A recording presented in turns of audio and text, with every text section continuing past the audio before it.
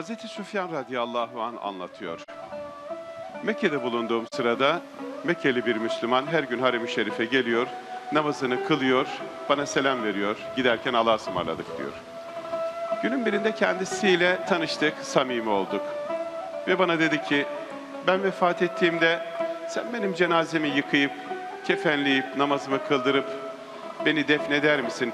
Ve senden rica etsem o akşam da benim kabrimin başında benimle birlikte olur musun lütfen? Sual melekleri gelince bana ben senin yardımını istiyorum sevgili Süfyan, ya Süfyan, ey hocam ben senden bu konuda yardım rica ediyorum deyince Hazreti Süfyan radıyallahu an bunu kabul ediyor. Aradan haftalar, aylar geçiyor. Mekkeli Müslüman vefat ediyor. Hazreti Süfyan gidip kendisini güzelce yıkayıp, kefenleyip defnettikten sonra o gece kabri başında beklerken uyuyor. Uyurken Mekkeli Müslüman ya Süfyan artık e, orada beklemene gerek yok. Yani senin telkinine artık ihtiyaç kalmadı. Teşekkür ederim gidebilirsin diyor. E, peki nedir hayırdır ne oldu nasıl oldu da yani sen böyle bir mükafata erdin deyince Ramazan sayesinde diyor. Uyanıyor abdest alıp tekrar yine aynı noktada oturuyor. Dua ediyor okurken uyuyor ve yine aynı rüyayı görüyor. Peş peşe aynı hareket üç defa oluyor. Üçünde de aynı rüyayı görüyor. Hazreti Süfyan radıyallahu anh. Ondan sonra nasıl oldu bu iş, nasıl bu mükafata erdin deyince e, Mekkeli Müslüman ben Ramazan orucunu düzenli olarak tutuyorum. Ramazana hep saygı gösterirdim. Ramazanda etrafıma çok saygılı olurdum. Ve Şevval'den de 6 gün oruç tutmayı hayatımda hiç ihmal etmezdim. Cenab-ı Hak bunun sayesinde beni mükafatlandırdı diyor e, Mekkeli Müslüman. Bunun üzerine Hazreti Süfyan, Ya Rabbi ne olur beni de Ramazan'a saygılı olmaya, Ramazan'dan istifade etmeye beni de muvaffak eyle diye dua ediyor ve oradan ayrılıyor. Evet, Yüce Allah inşallah bizleri de Ramazan'a saygılı olmaya, Ramazan'dan istifade etmeye muvaffak eylesin inşallah. Yurt içinde ve yurt dışında dünyanın çok farklı coğrafyalarında şu an 360 ekranları başında bizimle birlikte olan bütün seyircilerimizi hepinizi Bayrampaşa Şehir Parkı'ndan sevgi, saygı ve muhabbetle selamlıyoruz. Kardeşlik Sofrası program ekibi olarak. Allah'ın selamı, rahmeti, bereketi, affı, mağfireti, hidayeti hepinizin, hepimizin üzerine olsun. Sevgili seyircilerimiz, Kardeşlik sofrası birazdan bereket konvoyuna, Balkanlara gidecek, Sırbistan'a gidecek. Sevgili Musa Alcan kardeşim bize Balkanların coşkusunu aktaracak. Bereket trenimiz Anadolu yollarında. Şu an Yozgat'a doğru gidiyor. Yarın Yerköy'de inşallah Bereket e, Ekspresimiz bizimle birlikte olacak. Anadolu'nun e, iftar e, sevincini sizinle yarın inşallah Yozgat'tan paylaşacağız. Ben tekrar e, programımıza ekranlarınız başına hoş geldiniz diyorum ve sevgili misafirime dönüyorum.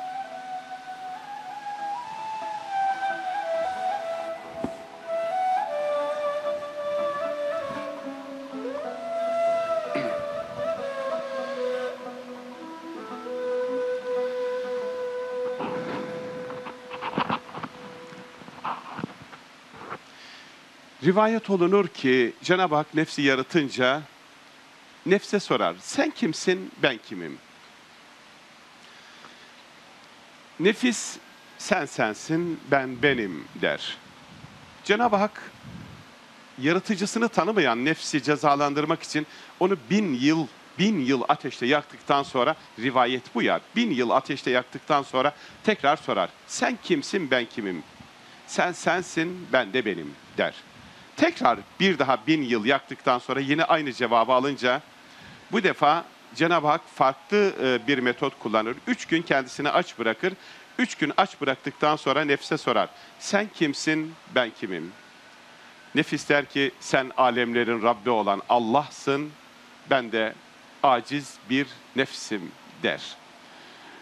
Bunu şimdi hocamla konuşacağım. Evet, e, Türkiye'nin ilk ve tek e, nöropsikiyatri hastanesi yönetim kurulu başkanı Profesör Doktor Sayın Nevzat Tarhan. Hocam hoş geldiniz. Hoş bulduk, teşekkür ederim. Aynı zamanda Üsküdar Üniversitesi e, kurucu Rektörü, rektörü e, sevgili hocam ve her zamanki müdavim sa- sazlarımız e, sevgili Şaban Keşkeş ve Hakkı Özçimi kardeşim sizler de hoş geldiniz e, programımıza. Evet hocam, e, Evet. aslında tabii e, sizin misafirimiz olacağınızı e, böyle duyunca bir an aklıma bu anekdot geldi. Evet. E, e, gerçekten nefsi aç bırakmak yani bedeni aç bırakmak, nefsi aç bırakmak terbiye metotlarından bir tanesi Tabii, midir? o, bu ilginçtir. Beyindeki ödül ceza sistemini en çok ne etkiler diye e, yapılan araştırmalar var. Beyindeki ödül ceza sistemini e, e, etkileyen kişinin yeme davranışı Evet. çok etkiliyor. Yeme davranışı. Şimdi e, yiyeceğine ulaşamadığı zaman kişi e, e, e, yaşam sebebi ortadan kalkıyor duygusuna kapılıyor kişi ve böyle bir durumda bir fiziksel bütünlüğün bozulacak, psikolojik bütünlüğün bozulacak diyerek korku oluşuyor. Yani kişinin yani çünkü insanda temel e, eğilim e, yaşama arzusudur insanda. Yaşama e, mesela yak- yakılsa bile yaşama arzusu yok olmuyor. Yani bir şekilde yani o e, devam ediyor ama öbüründe yok olma ihtimali var. Evet. Yani insanda bir aç kalmak, yok olma ihtimali gibi bir durumu insana götürdüğü için yani beyindeki ödül ceza sistemini en çok çalıştıran şey bu zaten e, hayvan terbiyeciler de bunu çok iyi kullanırlar. Aç bırakırlar ve ondan sonra itaat ettirirler hayvanı. Evet. Aslan terbiyecileri falan öyle yaparlar. Aç Evet. Aç kaldığı zaman itaat eder. Ondan sonra yiyeceğini verirler. Yiyeceğini verdiği zaman ödüllendirirler ve bu şekilde hayvan aslan o şeye itaat eder. Ee, ayı e, o şekilde itaat eder. Kızgın saçın üzerinde dolaştırırlar ve e, e, o ondan daha etkilidir. Yani yemek de yiyecekle birlikte yaparlar. E, bu Ramazan orucunun hikmetlerinden birisi de bu herhalde. Evet. Yani insanda e, açlık duygusunu fark ettirmek. Bu çağın insanına çok ihtiyacı var ya. Evet. Hiç Şey dediniz de e, yani ödüllendirme hem yani aç bırakma ödüllendirme hayvanlarda da e, yani Hollanda'da böyle köpek eğitiminde bir iki defa denk gelmiştim. E, bir takım hareketler yaptırıyor. Ondan sonra köpek geliyor hemen yanına çaktırmadan böyle avucundan e, ona bir şey veriyor. Saçını okşuyor ve gidiyor. Ama yani e, köpek onun o ödülü yani hak etmek için aslında yapıyor. Yani bir takım hareketler yapıyor. Geliyor bir bakıyorum böyle avucundan alıyor Veriyor, he, ve gidiyor. gidiyor. Evet. Tabii. Demek ki açlık gerçekten e, terbiye metotlarından e, terbiye metotlarından insanın e, yani kan şekeri düştüğünde kişi e, kendine en kötü hissettiği duygudur. Kan şekerinin düştüğü duygu. evet. Yani düştüğü duygu yani halsizlik, yorgunluk e, öyle bir duygu. E, o duygu e, ve e, beynimiz öyle bir çalışan organ ki e, oksijen ve e, glukozun yani şekerin e, e, vücuda giren şekerin e, vücutta ağırlık olarak yüzde beş olduğu halde vücuda giren şekerin yüzde yirmi beşini kullanıyor. Yüzde on iki buçuğunu kullanıyor. Yani on iki buçuk misli daha fazla. Yüzde yirmi beşini kullanıyor beyin. Yani bu nedenle e, vücut e, e, şey- aç bırakmak bir e, insan için yani şeyi e, şuurunu kaybetmiyor çünkü insan var Evet. e, varoluşunun farkına vardıran bir duygu. Hocam aslında yani ben o anekdotu anlatınca öyle başladım ama Ramazan ve ruh sağlığı devam edeceğiz. E, oradan gireceğiz, başlayacağız daha doğrusu. Ama e, önce kısa bir reklam arası verelim. Ondan sonra kesintisiz programımızın sonuna kadar devam edelim. Ne dersiniz? Tamam. Sevgili seyirciler kısa bir ara ardından tekrar yine Bayrampaşa'dayız, buradayız. Kardeşlik Sofrası programımız devam ediyor. Misafirim Profesör Doktor Nevzat Tarhan hocamla e, konuşuyorduk biz. Açlığı konuştuk birazcık. Ama e, Ramazan ve ruh sağlığı arasındaki açlık fa- farklı bir şey. Bir de ruh sağlığı daha farklı bir şey. Tabii. E, ruh sağlığı arasındaki bağlantı nedir hocam? E, ruh sağlığına girmeden önce yeni öğrendiğim bir bilgiyi paylaşmak istiyorum bu açlıkla ilgili. Buyurun. Bu şeker hastalığı dünyada çok arttı biliyorsunuz. Evet. Yani ağrı kesicilerden sonra en çok kullanılan ilaçlar şeker ilaçları olmaya başladı. Bu neden diye yapılan araştırmalarda e, bu e, insülin reseptörleri var hücrelerde. Vücut kan şekerini alıp kullanma ile ilgili e, bu reseptörlerin duyarlılığı e, bu beslenme biçimi nedeniyle bozulmuş insanlıkta ve e, bu bozulma sonucu şeker geni taşımayan bile şeker hastalığı, aile geni olmayan bile şeker hastalığı belirtileri ortaya çıkıyor. Bu, bu da şöyle devamlı atıştırma nedeniyle. Yani kişi şimdi devamlı kan şekeri yüksek oluyor kişinin. Kan şekeri yük- yüksek olunca insülin reseptörleri benim artık şeker, şekere ihtiyacım yok diye duyarlılıklarını azaltıyorlar. Azaltınca insülin reseptör duyarlılığı bozuluyor ve şeker hastalığı ortaya çıkıyor. Bunun için açlık kürleri tavsiye ediyorlar şimdi. Böyle kişi sadece su içerek belli bir süre aç kalması günde. Yani o hani 6 saatte bir yeme gibi tarzdaki diyet alışkanlığı büyük ihtimal terk edilecek yakında. Yani kişi e, aç kalma bu aslında açlığın insana bir eziyet olmadığı, açlığın sağlığın açısından da bir e, beden sağlığı. Mesela obezitenin ortaya çıkmasının en büyük sebebi ve şekerin ortaya çıkmasının sebebi e, tıkışma, tıkınma geleneği, atıştırma geleneği. Ya o hatta e, çok güzel Azeri atasözü var. Böyle e, diyor az yiyerem hekimle işim olmaz, düz giderem hakimle işim olmaz diyor. Çok güzel. Evet. Çok güzel ya. Bir daha tekrar edeyim Az isterseniz. yerim, evet. Az yiyerem hekimle işim, İşim olmaz, olmaz. Düz düz giderek. giderem hakimle işim olmaz. Ne kadar güzel. Ne kadar güzel e, Azeri atasözü.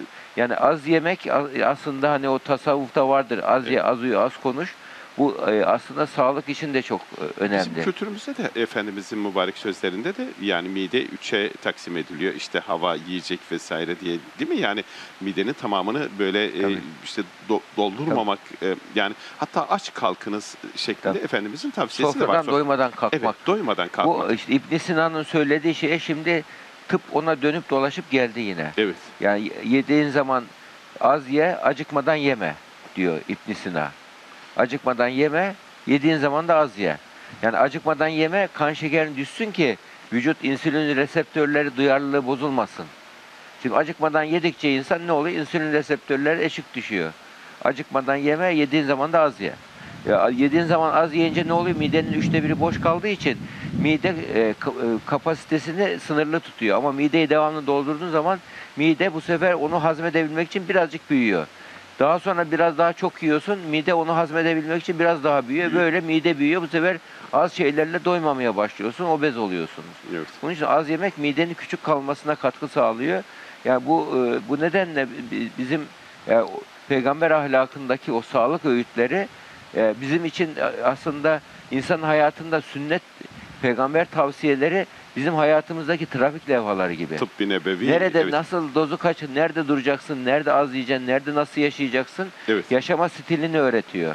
Hastalıkların %60-70'i yapılan araştırmalar da yanlış yaşamayla ilgili. Evet. Lifestyle diyorlar işte yani yan- yaşam Hayat stilini tarzı, bilemediğimiz yaşam tarzı. için hasta oluyoruz. Birçok hastalığın sebebi o.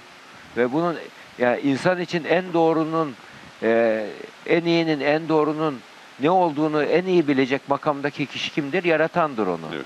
O halde yaratanın tavsiyesine uyduğun zaman insan için en doğru, en iyinin e, ne olduğunu bilene baştan kabul ediyorsunuz. Yani bir makine alıyorsunuz, kullanma talimatı var ya ona uyarsanız arıza yapmaz. Yani, E, o zaman Ramazan bunun yaratılış- için çok güzel bir fırsat değil mi hocam? Evet. Evet. Tabii işte burada da yani peygamberler de bunu bize e, şey e, rehber olarak göndermiş. Ona uyduğumuz zaman e, kendi sağlığımıza uygun e, şeyler yapmış oluyoruz. Bizim aslında şu anda bilimde de bu peygamber tavsiyesinin bilimdeki karşılığı nedir diye araştırmak gerekiyor. Yani her uzman hekim kendi alanında bunun gerekçelerini araştırıp kanıtlarını ortaya sunması lazım. Çünkü bu zaman kanıt çağındayız Evet. kanıtlanmayan bir şeye günümüzün insanı inanmıyor. Kanıtlayacaksınız, araştırmayı yapacaksınız, istatistiksel sonuçlarını yapacaksınız, anlatacaksınız.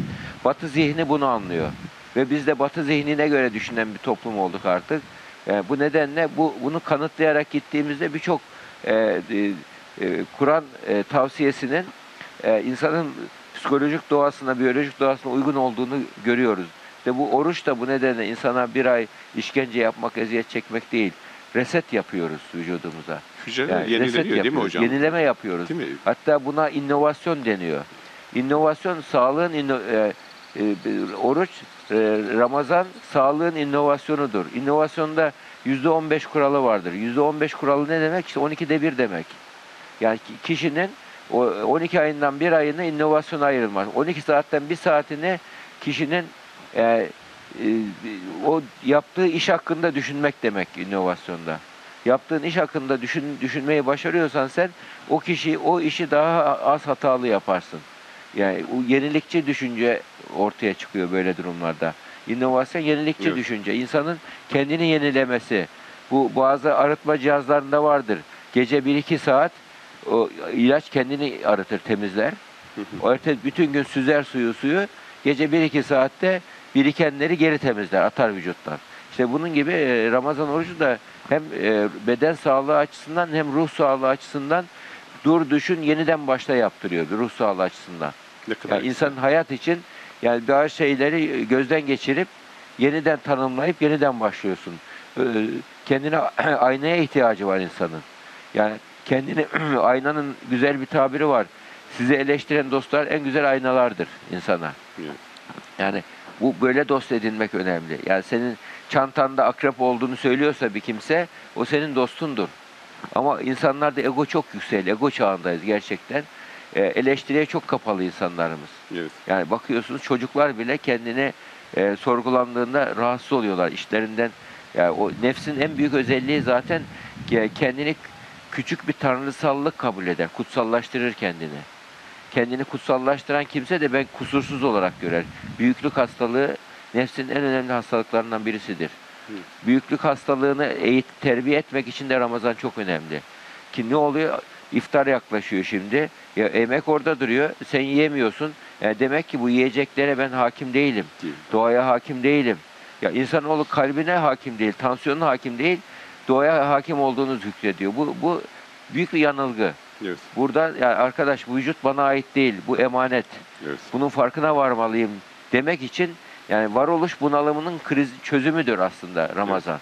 Yani varoluş e, sorgulaması yapan e, yapmak istiyorsa bir insan e, Ramazan kafasındaki soruları gidermek için bir fırsattır. Evet. Bunu Aynı zamanda tabii ölçülü olmayı da bize öğretiyor değil mi? Yani şimdi e, yaptığımız her hareket başlangıç noktası işte bir ölçü şu saatte başlıyorsunuz işte dediğiniz gibi e, işte önünüzde dünyanın en güzel e, nimetleri var, lezzetleri var ama dokunamıyorsunuz. Bir yani manevi saygı da var orada. Yani bir kutsala, yüce yaratıcıya, onun buyruklarına saygı var.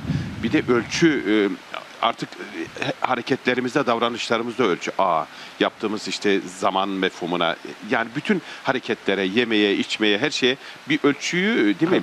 bu ölçüde bize- psikolojide buna mindfulness diyorlar yani farkındalık eğitimi. Evet. Yani kişi önce yani bir insan yola çıkmadan önce e, önce bir haritayı önüne alır. Eğer bir yere gidecekse önce nerede olduğuna bakar. Nerede olduğunu doğru biliyorsa yol haritasını ondan sonra yolunu çizer ve hedefine gider. İnsan hayat yolunda da önce kendini tanıması lazım. Buna öz bilinç deniyor. Öz bilinç, kendini tanımak. İşte e, e, kendini tanımayan bir insan yanlış konumda olduğu için gideceği hedefte hep hata yapar. Öz bilinç, kendini tanıma, kendini kendini bilen Rabbini bilir e, hadisi kutsu yanılmıyorsam. Evet. Bu, e, bu bunun e, e, yani, e, nefsinin güçlü yönlerini, zayıf yönlerini e, bilebilmesi insanın önemli. Bu öz öz öz bilinç olarak e, ilk adımdan sonra ikincisi öz yönetim geliyor. Kişinin kendini yönetmesi geliyor. Ondan sonra sosyal bilinç, e, toplumun parçası olduğunu bilmek geliyor. Sonra da daha sonra ilişki yönetimi geliyor. İnsan arasındaki Empati, ilişkileri evet. yönetebilmek. Bu pozitif psikolojinin yeni tanımlamasıdır bu. Ve bu şekilde insan öz e, öz bilinç dediğimiz kendini tanıma e, insanın e, dur düşün yap yap dur düşün yeniden başla yapmasıyla olur. Ya durup düşünüp öz eleştiri yapmadan, sorgulamadan bir insanın nerede olduğunu bilmesi, haritadaki konumunu bilmesi, hayattaki konumunu bilmesi demektir. Bu da herhalde kolay bir şey değil. Söylemesi kolay da uygulaması Evet. kolay değil Hocam tabii. şimdi e, yani işte bazen bakıyoruz işte en yakın arkadaşlarımız işte efendim şekerim var da işte yani hayır illa da bir bahane e, uydurmaya gerek yok ama şeker de böyle çok genç yaşlara kadar mı düştü? Yani sebep e, sebeplerini konuşacağız ama siz az önce Tabii. sormuştunuz ya kardeşlik sınır tanımız kaç yaşında diye. Evet. 10 yaşında ve biz şu anda e, kardeşlik sofrasından e, Sırbistan'a bereket konvoyuna uzanıyoruz. Sevgili arkadaşımız Musa Alcan orada. Sanıyorum arkadaşımız hazır. Evet sevgili arkadaşımı görüyoruz. E, bugün kaçıncı durağıdır bilmiyorum ama e, bir şey var. E, Kur'an-ı Kerim der ki eyyamen madudat. Sayılı günlerdir bunlar. Parmaklarınızla sayarsınız bir bakarsınız bitmiş. E, ben sadece yolculuğun hayırlı hayırlı geçsin, güzel geçsin, bereketli geçsin diyorum.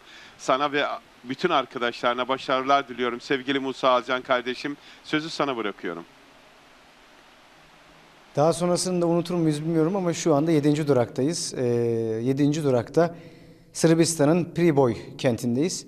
Dün Bosna Hersek, Bosna Hersek'te son günümüzü geçirdik.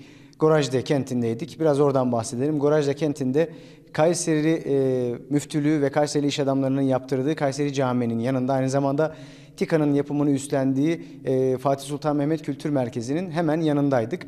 Ve e, yanımızdan da Dirina Nehri geçiyordu. Dirin- Dirina Nehri aynı zamanda ağlayan nehir olarak da biliniyor. Hüzünlü bir nehir. Savaştan son dönemdeki savaştan e, kaynaklı böyle bir e, böyle, bu isimle anılıyor bu nehir ve Goraj'de bu nehir, e, bu nehrin, Dirina Nehri'nin geçtiği yerlerden ayakta kalan, düşmeyen tek şehir olarak da biliniyor.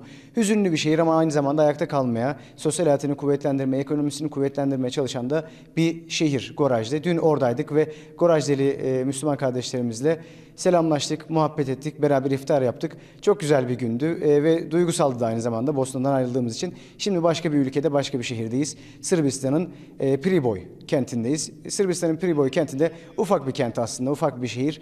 Öncelerinde yaklaşık 30 yıl önce fabrikasıyla, e, otomobil fabrikasıyla, kamyon fabrikasıyla ün salmış, e, ihracatta çok öne çıkmış bir şehirmiş ama e, son zamanlarda nüfusun da bu ekonomiden dolayı e, göçmesiyle iyice artık e, sessizleşmiş burası. Hem nüfusu azalmış. Şu anda 1758 yapımı e, bir camideyiz. Aslında 1700 1758'de ilk defa yapılmış ama ayrıntılarını konuğumuzdan dinleyelim. Canlı yayın konuğumuz e, ve buranın da imamı aynı zamanda Ediç Hamziç beyefendi. Edin Hamdiz, e, Hamziç beyefendi efendim. Kusura bakmayın. E, isim telaffuzunda biraz zorlanıyoruz. Hoş geldiniz yanım- Hoş yayınımıza. bulduk, siz de hoş geldiniz. Bizi TV'de 360'da bizi buluşturduğunuz için seyircilere buradan selamlar, muhabbetler göndermek isterim.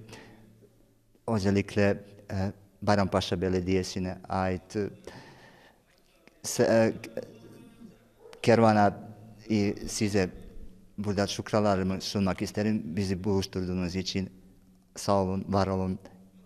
Eyvallah. Siz sağ olun, var olun. Hocam bu camidesiniz. Ne kadardır bu camidesiniz?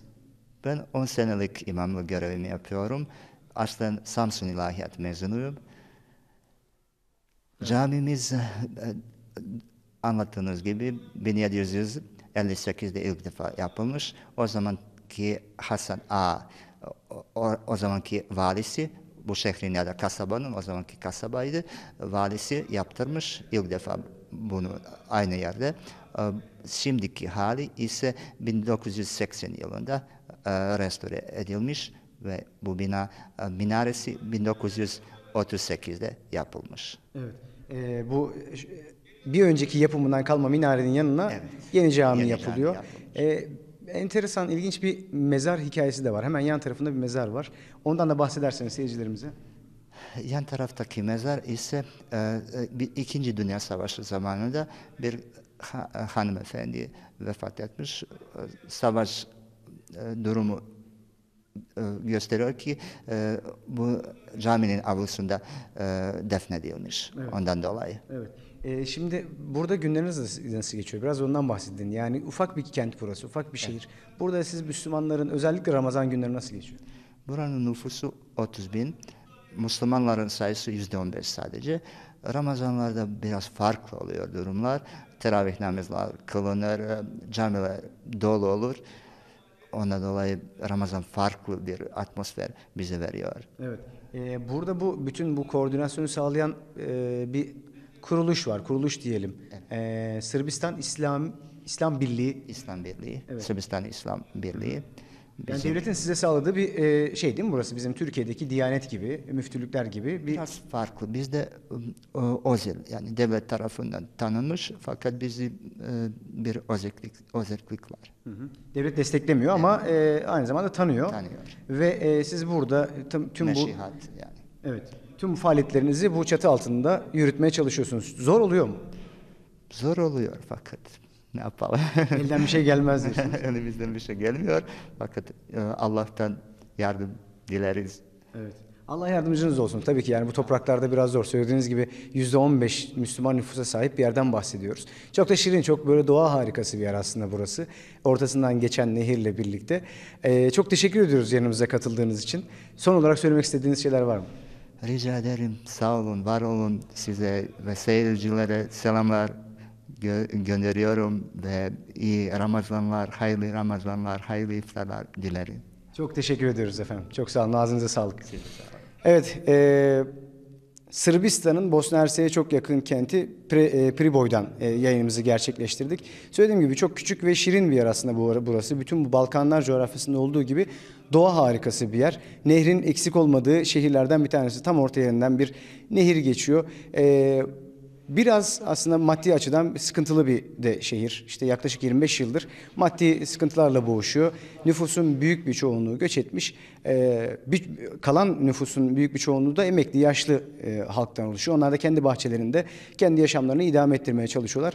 Çalışanlar da, e, çalışan gençler de genelde sezonluk işlerde e, mantar toplama, ahududu toplama gibi sezonluk işlerde çalışıyorlar ve işin ne zaman çıkacağı belli olmuyor. Buranın ekonomik durumu böyle diyerek sözü tekrar size bırakalım. Sevgili Musa çok teşekkür ediyorum. Ee, sana ve arkadaşlarına teşekkür ediyorum. Başarılar diliyorum. Yolunuz açık olsun. İnşallah yarın başka duraklarda senden e, güzel e, böyle mutlu haberler, e, güzel haberler, iftar e, sevinçleri, e, coşkulu e, haberler dinleyeceğiz, duyacağız. E, Profesör Doktor sevgili Nevzat Tarhan hocam ve buradaki arkadaşlarımla birlikte e, hep hepsinin hepimizin e, size ve ekibinize çok çok selam ve sevgileri var. Onu lütfen iletiniz. Çok teşekkür ediyorum sevgili Musa. Evet İftarlar, hocam. iftarlar hocam. Ramazan, Balkanlar, Ramazan, Balkanlar, kardeşlik tabii. sınır tanımıyor. Balkan e, Bayrampaşa Belediyesi kardeşlikteki sınırların hepsini kaldırdı. Aslında o sofralarda şimdi şu an orada tabii iftara bir, bir buçuk saat, bir buçuk iki saate yakın var. E, aslında iftar zamanı e, yani bir bakıyorsunuz ki işte oradaki farklı mabetlerden e, din adamları, papazlar, yani işte hepsi geliyorlar ama iftar sofrasında farklı e, renkler, farklı motifler, farklı dinler hepsi bir arada oluyor. Dolayısıyla gerçekten Bayrampaşa Belediyesi oradaki bütün kardeşliğe ait bütün sınırları kaldırmış. Evet. Çok güzel bir duygu Tabii, değil mi? Tabii Bayrampaşa Belediyesi'ni tebrik etmek lazım. Ya bu gibi şeyler e, t- tutarlılık önemli. Şimdi bir, bir defa yapıp bırakmamış 10. sene. Evet. 10. sene bu tutarlı, devamlı, tutarlı, kararlı bir şekilde devam ediyor ve oradaki insanlar şunu hissediyorlar, yalnız olmadıklarını Evet. hissediyorlar. Evet. Ve Türkiye'nin ve Türkiye'nin önemli bir belediyesinin onlara e, el uzattığını görüyorlar. Bu e, o, Türkiye'nin o duygu, eli bu. Tabii Türkiye'nin eli bu. Tabii. Bu bu duygu onlar için büyük bir motivasyon. Evet. Yani bunu şuna benzer. Yetim bir çocuğun başını okşamak gibidir bu. O çocuğu hayata bağlar. Hatta buna psikolojide güvenli bağlanma deniyor. Bir insan eğer güven vereceği bir kimse varsa o hayatta daha iyi ilerleyebiliyor. Evet. Güven vereceği bir e, güç yoksa bir insanın e, o yalnız hissediyor ve bütün e, hayatta e, e, atılım yapmasını engelliyor kişinin. Evet. Şimdi aslında e, yani çok iyi biliyorum ki çünkü herkes e, Bayrampaşa Belediyesi'nin yani e, bereket konvoyunun kendi köyünde, kendi kasabasında olmasını yani orada o iftar sevincinin paylaşılmasını istiyor. Biliyorum yani çok iyi biliyorum. Yüzlerce müracaat var. Keşke Bayrampaşa gibi diğer belediyelerimiz de Evet. o gidilemeyen yerlere gidip Evet. oralara el atmış olsalar yine aynı bereket konvoyları olsa İnşallah. keşke. O zaman işte Allah'ın rahmeti geliyor. Evet. Bak e, sürümle bereket aynı şey değil. Evet. Bir malı satarsın sürüm vardır. Fakat bir türlü faydasını göremezsiniz. Ama berekette bir satış vardır ve aynı zaman faydasını da görürsünüz. Huzur vardır içinde onun. Evet. Yani hem alana hem verene ikisine de huzur veriyorsa bu iş bereketli iştir zaten. Burada gerçekten aslında Bayrampaşa Belediyesi sadece bir köprü. Ee, Yani Türkiye'nin, Bayrampaşa'nın özellikle Türkiye'deki büyük iş adamlarımızın çok büyük e, destekleri, yardımlarıyla, gayretleriyle e, kardeşlik sınır tanımaz. Hakikaten 10 sene içerisinde 1 milyondan fazla insana ulaşmış. Yani müthiş İnşallah. bir şey. Tabii. Bir de tabii bundan sonra da şeyleri var. Kültür programları oluyor, işte etkinlikler oluyor. Türk kültürünü tanıtıcı. Gerçi Türk kültürü, Balkan kültürü birbirine de çok yakın. Yani e, çok ortak noktaları olan bir kültür. Evet hocam. Oradan e, şimdi uzun yıllar Hollanda'da kaldım ben. Hollanda'da hatta son yıllarda özellikle Hollandalı öğrenciler de Müslüman e, kendi arkadaşlarını çok sevdikleri için öyle bir empati yani Ramazan orucunu hissetmek için e, onlar da oruç e, tutuyorlar, tutuyorlar. deniyorlar. ve gerçekten Şimdi bir Hollandalı arkadaş dedi ki işte bir şey ikram edeyim size, kahve ikram edeyim. Hayır dedik oruçluyuz falan. O zaman dedi meşrubat ikram edeyim falan dedi. Yani onların oruç e, anlayışıyla bizimki Evet. çok farklı Çok tabii. Ama Hollandalı e, gençler özellikle yani e, işte imsak vaktinden başlayıp iftara kadar hiçbir şey yememek, içmemek şartıyla yani gerçek anlamda bir oruçla bir empati kuruyorlar. Ramazan ve empati hocam. Tabii. Şimdi insanı etkileyen en e, önemli şey söz kal dili değil hal diliymiş. Yani Evet. yani söz dili değil davranış dili.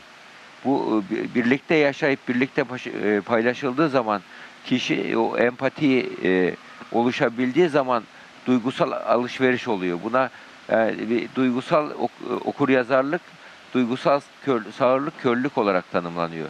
Empati duygusal okur yazarlıktır.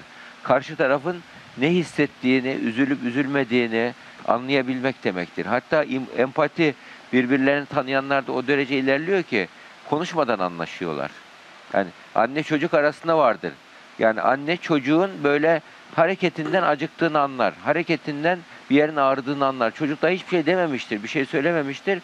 O derece e, bir duygusal e, okur yazarlık ilerliyor ki hatta buna psikolojide Michelangelo fenomeni deniyor. Michelangelo şöyle, Michelangelo biliyor çok iyi heykel yapan birisi. Davut heykelini yapıyor. O derece canlı gibi yapıyor ki sonra canlan diyor e, şiddetle vuruyor ay- ayağının parmağını kırılmış heykelin. Böyle bir, usta bir heykeltıraş. Michelangelo fenomeni denilmesinin sebebi birbirlerine o derece yoğun sevgi taşıyan kişilerin beyinlerinde diğer kişinin beyni gibi plastisite oluşuyor, heykel oluşuyor. Sevgi, saygı, düşünce yani onun aklından geçen o taraf anlayabiliyor hemen bir şey söylemeden. Yani beyinde ayna nöronlar çalışıyor. Yani şey gibi telsiz internet gibi çalışan nöronlar o, o bir şeyi güçlü duygularla hissettiği zaman karşı taraf da anlıyor. Böyle bir e, e, etkileşme oluyor. Beyin plastisitesi eşit hale geliyor, benzer hale geliyor. Empati böyle bir şey yapıyor insan beyninde. Evet. Duygusal farkındalık oluşturuyor. Yani, e, empatinin en önemli yolu göz teması kurmaktır bak. Yani bu e, televizyonun yaygınlaşması göz temasını azalttı. Göz teması azalınca empati azaldı insanlarda. Azaldı, evet. Yani empati duyguların, e, ruhun e, dünyaya açılan penceresi gözler. Gözlerdeki o e, göz teması kurmakla hatta yapılmış bir psikoloji araştırması var. E, e, psikoloji öğrencilerine 15 dakika birbirlerine baktırıyorlar. Evet. Bu, bu öğrencilerin bir müddet sonra %25'e aşık oluyor birbirine. Evet. Yani bu ilginçtir. E tabii yani demek ki gönle giden e, şeyde Evet. e, bütün Göz teması. Yani temas- orada bir de- duygusal etkileşme var Evet. göz temasında. E, empatinin en, en iyi yolu bu Evet. nedenle. Bütün bunları bunların hepsini bize bahşeden yüce Rabbimizin Evet. kelamına e, gidelim. Kur'an ayı, Ramazan ayı, Ramazan ayı, Kur'an ayı, e, Kur'an-ı Kerim dinleyelim hocam. Ondan Tabii, sonra tabii, programımıza e, kaldığımız yerden, sohbetimize kaldığımız yerden devam edeceğiz. Sevgili seyircilerimiz, Hucurat Suresi ayet 6 ve 10, 6. 10. ayetler arasını e, Suat Göztok hocamız okuyacak. Şimdi Kur'an-ı Kerim dinliyoruz. أعوذ بالله من الشيطان الرجيم بسم الله الرحمن الرحيم يا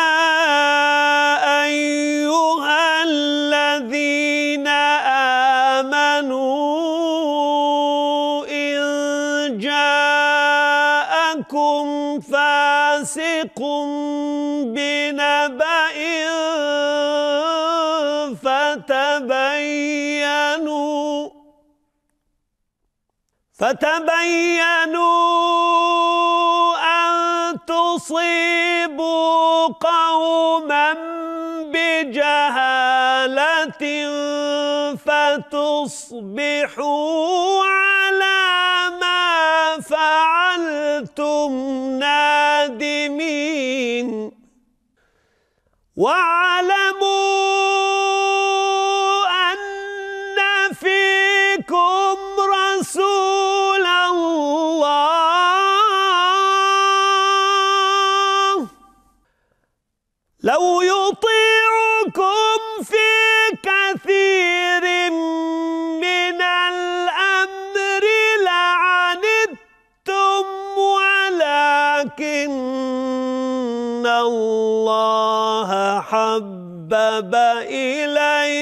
لهم الإيمان.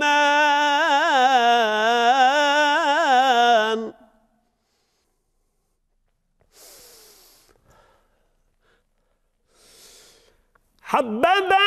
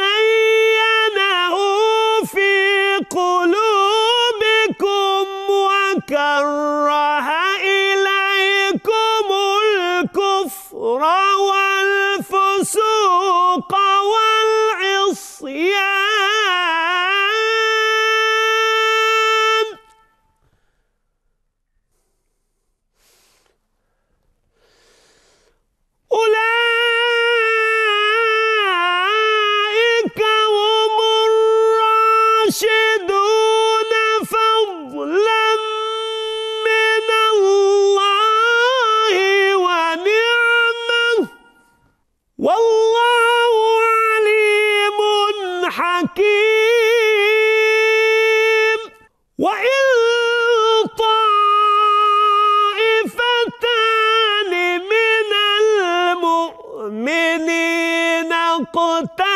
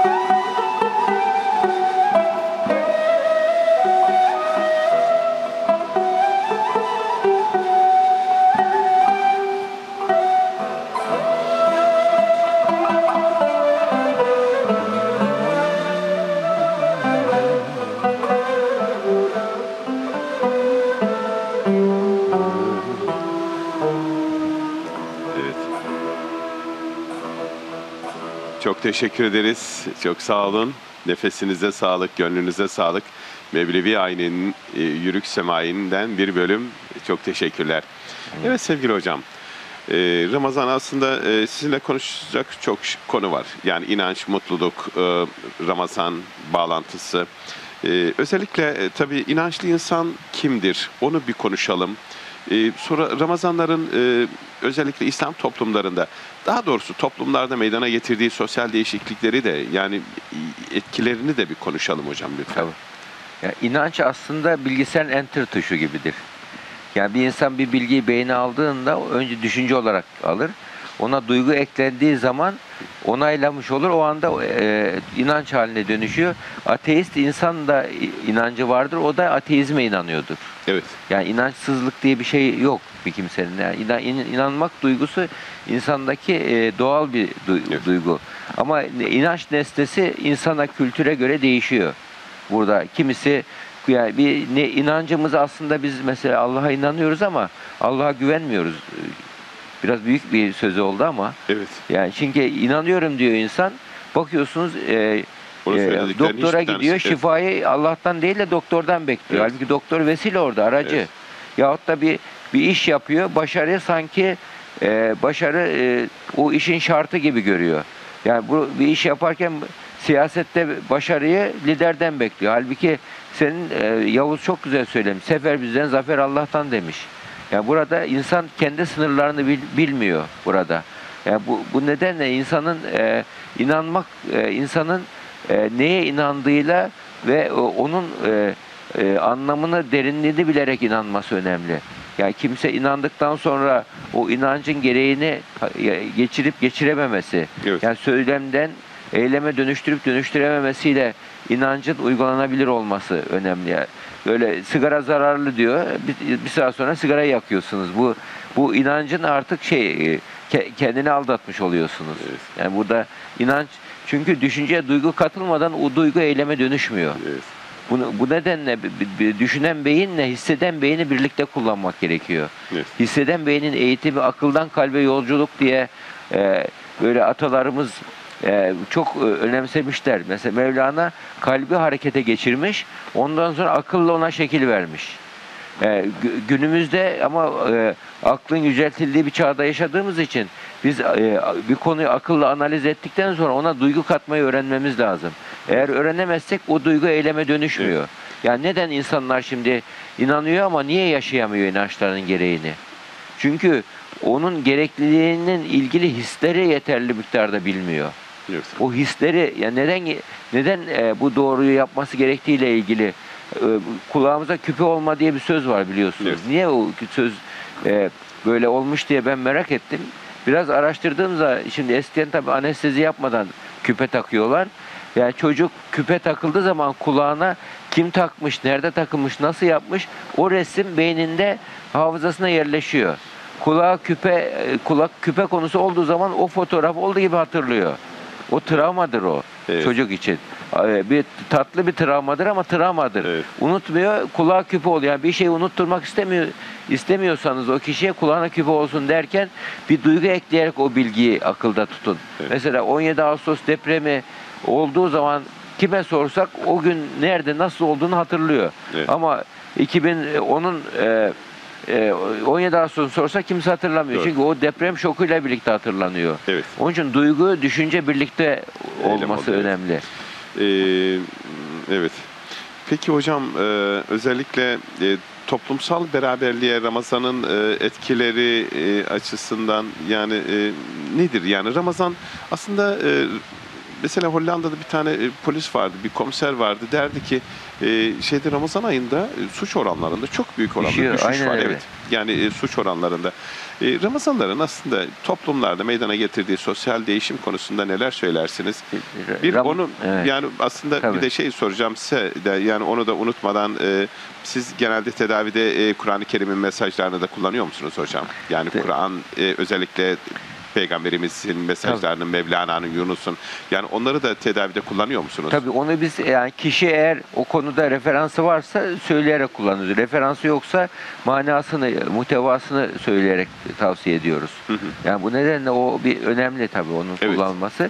Kur'an'ın şeyin e, Ramazan'ın en önemli özelliği şimdi ibadetler e, mesela diğer e, e, sosyal ibadet olarak diğer ibadetlerden farkı var Ramazan'ın. Sosyal ibadet bir Ramazan'da bir iklim oluşuyor. Evet. Şimdi hep böyle eski Ramazanlar denir ya. Evet. 100 sene önce sorsanız onlar da eski Ramazanlar diyorlar. Evet. As- aslında eski olan o kişinin çocukluğundaki Ramazan'ı özlemesi onun için eski.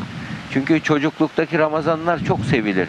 Hepimiz çocukluğumuzda çünkü e, Ramazan olduğu zaman evde kavga azalır. Evet. Ses tonu yükselmez. Yani sinirlenir, oruçluyum küfrettirme bana denir mesela. Değil mi böyle vardır. Böyle trafikte bile oruçluyum e, e, şimdi diye başlar lafa ve insanda fren mekanizmalarını harekete geçirir. Kalp kırmalar azalıyor Ramazan'da. Çocuklara daha şefkatli davranıyor. Ya ailede iyilik yapma arzusu uyanıyor Ramazan'da. Yani Ramazan'da ya bu Ramazan mu- mukaddes gün iyilik yapmam lazım diyor. Evet. Hatta adamın bir tanesi hem oruç tutmuyormuş hem de sahura kalkıyormuş. Niye demiş ya oruç tutmuyorsun sahura kalkıyorsun Yani- iyice gavur mu olalım demiş affedersiniz böyle. Yani bunun gibi yani kişi bir Ramazan'da kendi dünyasında bir ona e, bir iyi ve güzel anlamlar yüklüyor insan e, hayatında. E, Ra- Ramazan'da iyilik yapma arzusu uyandığı için daha, çocuğuna daha güler yüzlü davranıyor insan. İşçisine daha güler yüzlü davranıyor. Bir paylaşma bizim e, Batılılar sadaka kültürü diye bizim kültürümüzde bir e, küçümsemişler. Fakat şimdi sosyal duyguları, beynin sosyal duygularla harekete geçen alanları aynı zamanda mutluluk hormonu salgılattığını öğrendikten sonra şimdi sosyal duygular öğretmeye çalışıyorlar. Ee, özellikle Amerika'da yani sosyal duygular öğretelim, şiddet suça e, azalsın, şiddet azalsın. Evet. Ee, insanlar arasında paylaşma kültürünün yoğun olduğu bir ay Ramazan. Bu nedenle insanlar kendilerini daha güvende hissediyorlar, daha iyi hissediyorlar. Toplumun yarısını da aslında dezavantajlı insanlar oluşturuyor. İşte engelliler, hastalar, zayıflar, yaşlılar, çocuklar gibi. Ama sanki sanki Batı toplumu sanki e, sağlıklı insanlara göre e, organize olmuş bir toplum. Halbuki toplumun yarısı hasta, zayıf, Evet. sorunlu insanlar. Onları yok sayan bir toplum e, top- Dolayısıyla onlarla da bir güven empati oluşmuyor. kurulmuş oluyor değil Tabii. mi? Yani bir, bir nevi e, evet açlıkla e, Tabii. Yani evet. e, o, o insanların ya insanlar yok ben e, böyle gö- e, hasta olduğum zaman engelli olduğum zaman benim bana önem verilecek, bana değer verilecek diyerek güven oluşuyor. O güven yani o yoksula dezavantaj insana yapılan güven diğer insanlarda da ben hasta olursam bu devlet bana iyi bakacak. Yani bana iyi yardım edilecek. Böyle bir anlayış var diyerek sosyal devlet bu şekilde ortaya Evet. çıkmış. Yani bu Evet. ins- ve bu toplumda huzur oluyor o zaman. Evet. Ama e, dezavantajlı, hasta, zayıf, mağdur, mazlum insanlara önemsemeyen, sadece sağlıklı insana odaklı yaşayan bir toplumda e, insanlarda devamlı e, sağlıklı kalmak zorunda hissettiği için e, diğer insanları göz ardı ediyor, mutlu olamıyor insan. Evet. Yani mutlu olamıyor. Bu nedenle sosyal e, devlet oluşabilmek, sosyal toplum oluşabilmesi için muhakkak dezavantajlı insanlara öncelik vermek, hatta e, şer'iye e, kayıtlarını inceleyen bir e, Aile Sosyal Politikalar Bakan Müste- Müsteşarı Nesrin Hanım güzel bir şey anlattı. O böyle e, e, akademik çalışması esnasında Kayseri'de şer'i şeriye Siz- kayıtlarını incelemiş. Orada bakmış karşısına geldiği zaman bir iddiayla eğer e, kadın, çocuk e, e, yahut da gayrimüslim gibi dezavantajlı olarak toplumda kabul edilen kişilerden geliyorsa ispat külfetini sağlıklı olan kişiye veriyormuş. Şeriye kayıtlarında bak Ay. Osmanlı. Yani mağdur ve mazlumu koruması, 600 sene yaşaması başına değil. Evet. Ve hatta İstanbul'da Aksaray ile Unkapanı arası yokuştur biliyorsunuz. Evet. O yokuşta yük taşıyan hayvanlar e, Unkapan'a indikten sonra geri çıkarken terli e, e, tekrar yük yüklemesinler diye eğerleri ters eğer giymek zorunluluğu getirilmiş. E, Üzerine yük getirmesinler diye. Yani hayvan haklarını koruyan bir jer- e, şer'i kayıtlarıyla e, da ispat eden bir sistem var yani. Evet. Bu böyle bir sistem. E, bunu Batılılar yeni yeni fark ediyor. Evet. Biz üst- hazinenin üzerinde oturuyoruz Ama farkında değiliz yani. Kıymetini, bilmiyoruz, bilmiyoruz. evet. Peki hocam yani inançlı insanlarda depresyon az önce dediniz ki işte yani frenler şey yapar. İnançlı insanlar depresyona girmez mi? Şimdi depresyon bir hastalık. Evet. Beyinde serotonin maddesi bir rezervi var o maddenin. Belli oranın altına düştüğü zaman kişi hayattan zevk almamaya başlıyor ve özellikle beynin ön bölgesinde yani ilgi ve enerji azalması oluyor. Ve uyku iştah bozuluyor böyle ve beyin kimyası bozuluyor bu kişide. Bu hastalık ve bu nasihatla ve tedavi edilmez. Yani insan zatürre olursun, e, tedavi olursan çabuk iyileşirsin, güçlü iyileşirsin. Tedavi Evet. olmazsan iz kalır. Depresyon da kendiliğinden iyileşebiliyor ama e, bu daha çok sağlam inancın depresyona girmemekte faydası var. Evet. Depresyondan çıktıktan sonra tekrarlamamasında faydası var. Evet. Bu nedenle sağlam inancı olan kişiler hatta bir doktor ameliyata girerken doğaya yönelmiş bir insan görürse e, bu ameliyatın daha başarılı geçeceğiyle ilgili bir daha rahat giriyor. Evet. Öyle kaygılı, her şeye karışan, aman işte ameliyathanenin derecesi kaç, şu ilaç tamam mı, bu nasıl diye böyle çok sorgulayan insanlar işi ters gidiyor. Evet. Onun için hep bilinir o meslektaşlar, doktor, meslektaş kendi e, şeyini ameliyat etmek istemez. Sakınan göze çöp batar sözü herhalde burada geçerli. Yani insan e, e, e, insanoğlunun en büyük dikkat etmesi gereken şey gerçekten yani, e, insanda e, diğer insanların duygularını anlayabilmesi, Evet. fark edebilmesi. Ramazan aslında bunu bize kazandırıyor değil mi? Tabii. Yani en büyük şey. Ramazan e, şükür ayı mıdır? Şükür müdür Ramazan? Yani şükür e, şükür ve minnettarlık mesela bizim terapide kullandığımız e, e, te- tekniklerden birisi minnettarlık eğitimi vardır. Evet. Minnettarlık çünkü minnettarlık birisi bir insana bir yardım ettiği zaman, iyilik yaptığı zaman ona teşekkür etmek. Evet. Teşekkür etmek. Bu duygu bir insanda varsa, bu bunu bir beceri olarak öğrenmişse, e, bu duyguyu taşıyan bir kimse e, teşekkür edilecek şeyler yapmaya karşı daha içten bir istekli hale geliyor. Yani ne oluyor? Birisi ona bir iyilik yaptığı zaman teşekkür ediyor. O halde ben de ona bir iyilik yapayım diye duyuyor. Teşekkür almaktan insan hoşlanıyor. Takdir, onay, övgü insanın hoşlandığı bir şeydir. Teşekkür de takdir, onay, övgünün günlük hayatta rastlanan şeklidir. İçinde iyilik yapma arzusu vardır çünkü. Bu onu uyandırıyor. Minnettarlık diğer insanlarda olumlu geri dönüşler aldığı için iyi ve güzel davranışı teşvik ediyor. Evet. Ee, Ramazan'da burada yani bu duyguyu bu, bunu e, yoğun yaşandığı bir dönemde insanda yani e, o şükür insanda iki tane sihirli kelime var aslında. Bu iki sihirli kelimeyi hayatta uygulasa birçok musibetin önünü keser. Birisi bunlardan şükürdür. Yani küçük şeylerden mutlu olmak ta- Evet. tabiri caizse. Bir içtiğin çaydan çok şükür diyebilmek. Bir çay içe, on, yani sıradan şeylerden, rutinden haz almayı başarabilmek şükürdür. O zaman bu Ramazan insanın içindeki bu coşkuyu da artırıyor aynı zamanda Tabii. değil mi? Yani bu şükür coşkusunu, minnet coşkusunu, güven coşkusunu, Tabii. yani bütün o insanın içindeki Yüce Allah'ın insana kazandırdığı Tabii. yani manevi olarak sizin özellikle Tabii. e, alanınız olan o bütün şeylerin hepsini, duyguların hepsini yeniliyor ve aynı Evet. zamanda o Tabii. coşkuyu artırıyor Tabii değil mi yani hocam? insan insanoğlu hep daha daha fazlasını isteme eğilimindedir. Evet. Niye şu da yok, niye bu da yok tarzında bir doyumsuzluk eğilimi var. Eğer bu minnettarlık eğitimi alırsa kimse sıradan şeylerden e, memnun olmayı öğreneceği için ama bu demektir ki hani tembellik anlamında değil bu. Elinden gelen her şeyi yapıp sonuna kadar bütün sebeplere başvurup ondan sonra sonucu kabullenici olabilmek, minnettar olabilmek sonuçta. Yani bu e, şey, sihirli bir kelimedir. Bunu öğrenmek.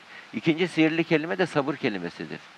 İnsan e, her işler yolunda giderken şükredebilmek önemli. İşler yolunda gitmezsen sabredebilmek önemli. Bunu Evet. başarabilen insan iki tane sihirli formülü öğrenmiş oluyor. Evet. Yani he- çünkü hayat düz çizgi gibi değil. Her şey yolunda gitmiyor. Engellerle karşılaşıyorsunuz. Fırtınalar var, yol kazaları var. Evet. Böyle durumlarda e, krize dönüşmemesi için tahammüllü olmak önemli. Evet. Dayanıklılık eğitimi. Evet. Yani Ramazan orucunun en önemli e, kazandırımlarından birisi de tahammülün ilacı eğitimi olması, dayanıklık e, eğitimi vermesi, öğretmesi sabır öğretmesidir. Çok güzel. Hocam çok teşekkür ediyorum. Estağfurullah. Ee, yani şu an tabii hem Türkiye içinde, yurt içinde, e, hem Balkanlarda, hem Avrupa'da, dünyanın her tarafında sevgili seyircilerimiz bizi izliyor. Onların arasında sizin öğrencileriniz var. Ee, zaman zaman size e, tedaviye gelen e, dostlarınız var, arkadaşlarınız var. Buradan bir e, şöyle e, iftar mesajı çok kısa alalım Evet. ve ondan sonra hemen küçücük minik bir dua arkasından ezana Tabii, e, inşallah, insanlar inşallah. çünkü Tabii. bütün kardeşlerimiz e, iftar sofraları Ya başında işte bekliyorlar. Ramazan'ı Ramazan anlamına göre yaşayabilmek önemli. Şimdi iftara yaklaştık bak. Önümüzde yemek duruyor, uzanamıyoruz. Evet. Yani burada insan yani asıl özgürlük insanın e, canının istediğini yapması Evet. değil, yani, e, ne- şey- nefsani, şeytani isteklerinden özgür olabilmektir. Evet. Bu özgürlüğü yakalamaya çalışmalarını tavsiye ederim. Sevgili hocam çok Evet. teşekkür ediyorum. Sevgili arkadaşlarım size çok teşekkür ediyorum. Sevgili seyircilerimiz İstanbul Bayrampaşa Şehir Parkı'ndan Kardeşlik Sofrası program ekibi olarak hepinizi sevgi ve saygıyla selamlıyoruz. Hayırlı akşamlar, hayırlı iftarlar diliyoruz. Hepinize minik bir dua ile e, ezana ve e, Allah nasip ederse iftar sofralarımızda e, iftarımızı açacağız. Amin. Euzubillahimineşşeytanirracim. Bismillahirrahmanirrahim. Allah'ım senin rızan için oruç tuttuk. Sana inandık, sana güvendik ve senin verdiğin nimetlerle orucumuzu açacağız. Oruçlarımızı kabul eyle. Dualarımızı kabul eyle. Okunan Kur'an-ı Kerimler var, kabul eyle. Yapılan ikramlar var, yapılan e, güzel davranışlar var, güzel ameller var. Kabul eyle ya Rabbi. Hastalarımıza şifalar ihsan eyle. Dertlerimize devalar ihsan eyle. Borçlarımıza acilen edalar ihsan eyle ya Rabbi. Senden gelen her emir sanki gülşenden gelir. Safası ruhu sarar, kokusu tenden gelir. Erdirirsin lütfunla her zoru selamete. Selam sensin ya Rabbi, esenlik senden gelir. Esenlik ve saadet yolunda bizleri daim eyle. Ülkemizi esenlik ve saadet yolunda daim eyle ya Rabbi. Milletimize huzur ve refah, insanlık alemine de barış istiyoruz. Rahmeti de, yardımı da, cenneti de senden istiyoruz. Senin rızanı istiyoruz. Senin rızanı kazanmak istiyoruz. Nasip eyle ya Rabbi. Dualarımızı kab- kabul eyle. Dualarımızı Kabe-i Muazzama'da ve Ravza-i Mutahara'da yapılıp kabul olan dualarla birlikte kabul eyle, kabul eyle ya Rabbi. Hamdü senalar, minnet ve şükranlar, tazimler, tebciller ancak sana mahsustur Allah'ım kabul eyle. İyyâke nâbudu diyerek ancak ve yalnız sana kulluk ediyoruz. Kulluğuna bizleri layık eyle ya Rabbi. Amin. Velhamdülillahi Rabbil alemin. El Fatiha.